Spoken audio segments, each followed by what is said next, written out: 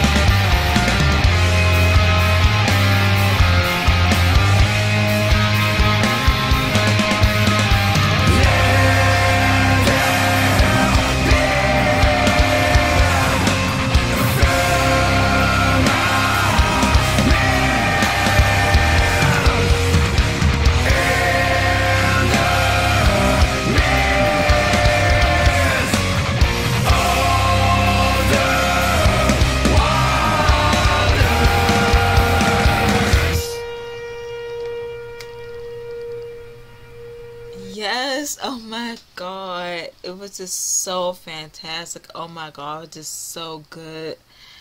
Oh, oh my God, what a rush. Oh, I liked how mellow and soft it was at the beginning, but then it got a tendency. Later, go then.